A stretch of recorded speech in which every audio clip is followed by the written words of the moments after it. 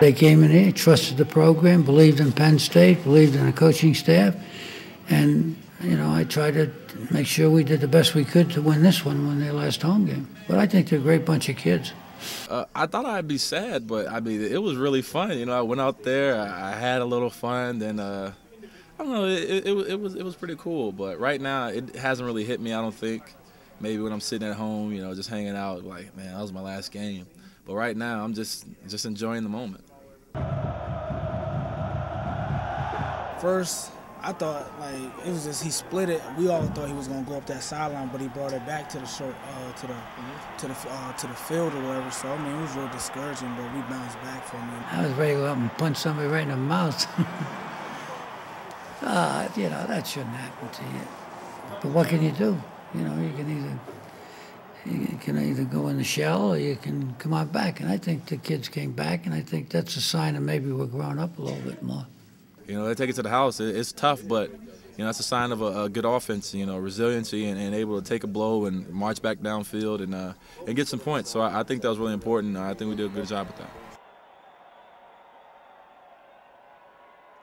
Oh, Derek, this was one of Derek's best games that I can remember. Uh, you know, um, just getting the ball in space, making people miss.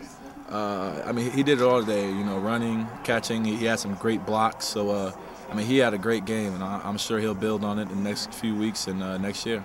You know, we take great pride in keeping whoever we're playing out of the end zone. Um, and uh, I guess it just happened to be them again this week as well as last year. You know, they struggled a little bit getting the ball in the end zone, but you know they're they're a great team. They have great athletes, and we just tried hard all week to get prepared for because we knew they were going to throw the ball against us.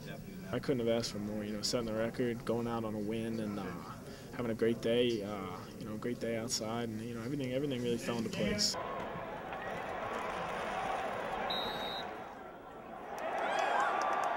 It's called power. It's like it's a pretty popular play in college football now. So we ran the play probably 20 times today, and it, it just it was just blocked right, and everything opened up the right way. Our guard came and he pulled and kicked the guy out, and it just opened up.